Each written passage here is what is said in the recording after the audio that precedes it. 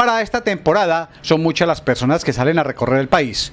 Unas en son de vacaciones, otras a visitar a sus familiares y otro tanto a estar en paz con el espíritu y el alma. En tal sentido, el Departamento de Policía Valle presentó en Buga el Plan de Seguridad Semana Santa, Todos por un Nuevo País los cuales van a estar eh, en cada uno de los recorridos, eh, tanto viales como en cada una de las procesiones, eh, haciendo presencia.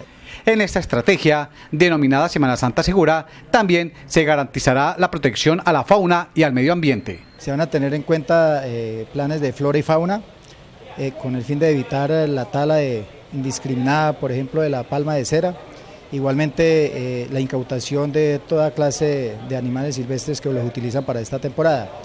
El plan de seguridad se implementará en todo el departamento y en el caso del distrito de Bugá, con el coronel Javier Pineda a la cabeza, se realizó un trabajo parroquia por parroquia.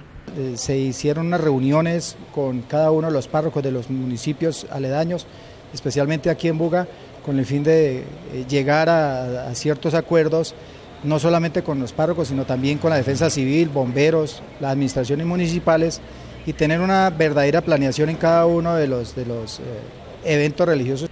Y como ya es tradicional, a Buga se espera que lleguen peregrinos de diferentes partes del departamento, del país, del exterior y de los municipios del Cerrito y Tuluá, para los cuales la Policía de Carreteras le brindará un apoyo.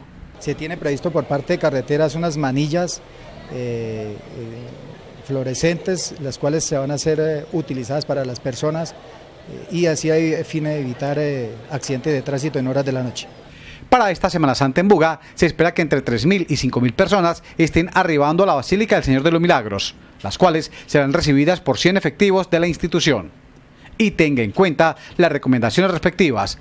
No deje los niños solos, no porte objetos de valor y utilice el transporte público. William Hurtado Loaiza, CNC Noticias Buga.